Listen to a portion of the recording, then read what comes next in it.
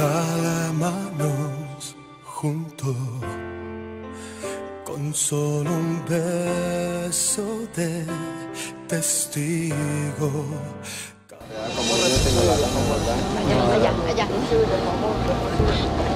¿Está buscando algo? Sí. Me refiero a que si algún objeto personal de un pariente, un amigo. Una amiga, una amiga. Al- algo de... Mira, Fer.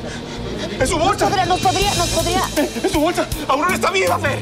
¡Aurora está viva! Por Dios, que así sea. Que así sea, que así sea, que así sea. que así sea. La buscaremos hasta dar con ella. ¡Está viva! No, es que, es que a mí no me metan en estos predicamentos. Porque entonces el joven Camilo me va a matar a golpes. Esta vez, esta vez te aseguro que se va a arrodillar ante ti si es necesario, Jacinto.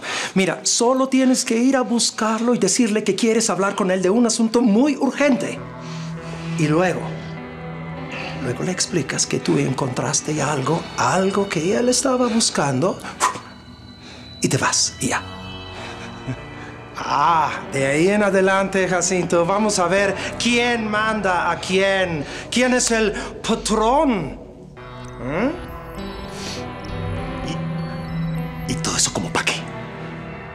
Muy buena pregunta, Jacinto. Para dos cosas.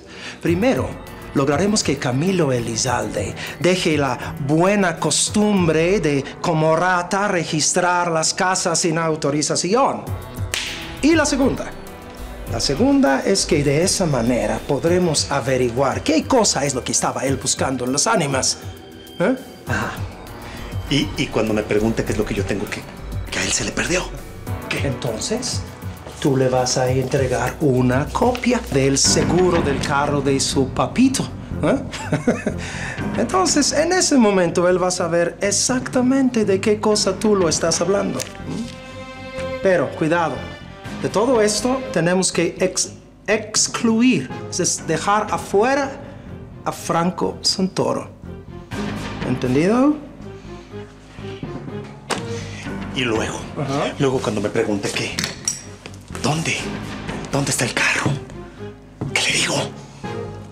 Pues, lo que se acostumbra en las películas de Cops and Robbers, ¿no? Policías y ladrones, Jacinto. Es decir, todo a su debido tiempo.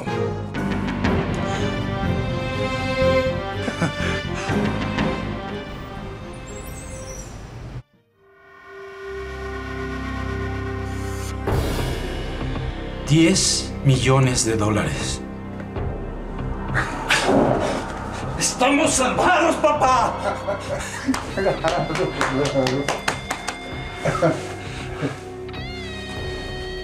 ¿Y cuándo te enteraste, mi hermano? Esta mañana, Franco Santoro me llamó para pedirme que nos reuniéramos. Tú no me dijiste nada. Es que supuse que era para darme una mala noticia, por eso yo no te lo comenté. Una mala noticia. Pues es, es la mejor noticia que he escuchado en toda mi vida desde que nací. ¿Y por qué te avisó a ti? Bueno, Santoro me dijo que a la persona a la que más le iba a alegrar la buena nueva era a ti. Y consideró que nadie mejor para darte la noticia que yo. Ese tipo es, es un príncipe. Ponerse a pensar en esos detalles. Papá, gracias a la generosidad de Santoro saldremos adelante. Es verdad, hijo, es verdad, sí. Mm. Sin tu intervención, nada de esto hubiera sido realidad. Bárbara, ¿no te dijo Franco cuándo piensa hablar con nosotros? ¿O es que ahora todo lo va a tratar únicamente contigo? Por supuesto que no, Aníbal. El enlace entre Grupo Lactos y Power Milk sigue siendo tú. Pero sí, claro, porque este negocio no solamente es recibir una fuerte suma, hay, hay muchos detalles que afinar. Tienes razón. Pero vas a tener tiempo de sobra para hablar con Franco Santoro en la fiesta. Eh, ¿Cuál fiesta? La que va a ofrecer para celebrar el convenio.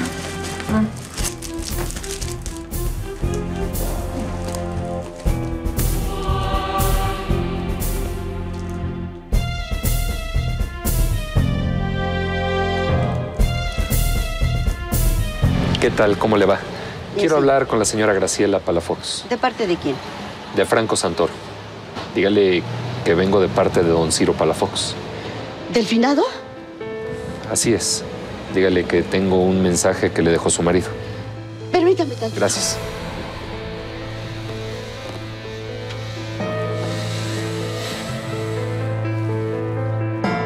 Como lo hay Ugalde, sin ningún problema podemos continuar con la construcción de la fábrica de quesos.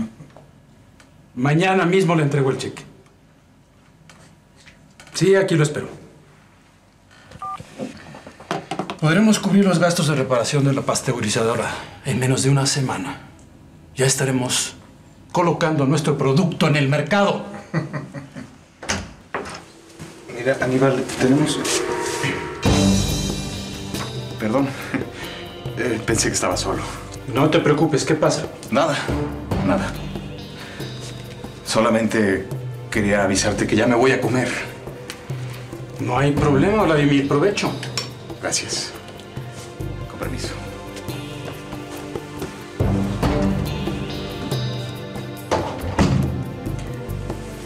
¿Qué hace el amigo de Damián aquí?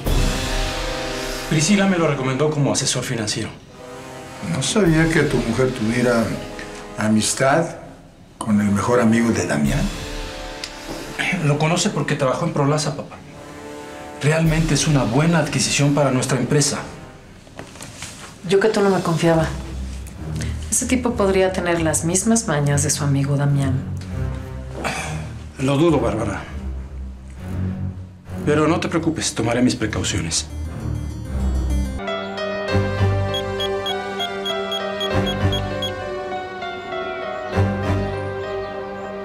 Aquí la tenemos, don Artemio. ¿Qué quiere que hagamos con ella? Que les diga lo que investigó René Manzanares sobre Franco Santoro. Y si no habla, liquídenla. Sí, señor. Está perfectamente claro. Listo. Vamos a ver qué tanto sabe la chamaca.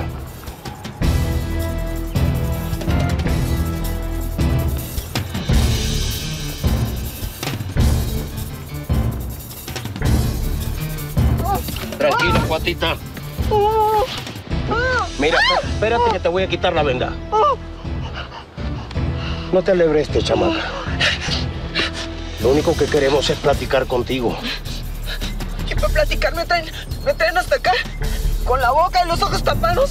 La gente no platica con la boca tapada. Tienes razón. Lo que pasa es que tú querías platicar a gritos. Y el problema es que nosotros tenemos el oído muy delicado. ¿Que ustedes son, son gente de Lucio? ¿Lucio? ¿Y ese quién es? Mira, Gardenia, la cosa es muy fácil. Tú no tienes que hacer absolutamente nada, solamente contestar una pregunta. La contestas y nosotros te dejamos en tu casa y todo tan tranquilo. ¿Sí o no? Afirmativo. Mira, para que te sientas más en confianza, debes saber que este y yo éramos amigos de René Manzanares, el hombre que viste que matar. Lo único que necesitamos es que nos digas qué fue lo que René encontró en la casa de tu patrón, Franco Santoro. Tita, el problema es que nosotros no disponemos de mucho tiempo.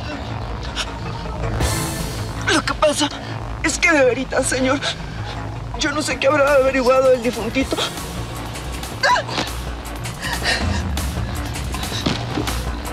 Oiga, oiga, no. Esperen. Espérense, por favor. No me dejen aquí. ¿Qué me van a hacer? Ay, Dios mío.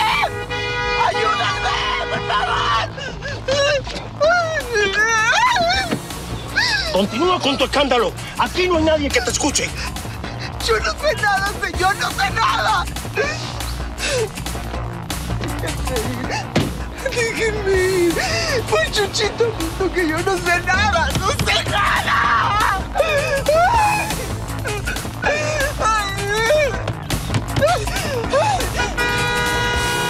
¡Ayúdenme!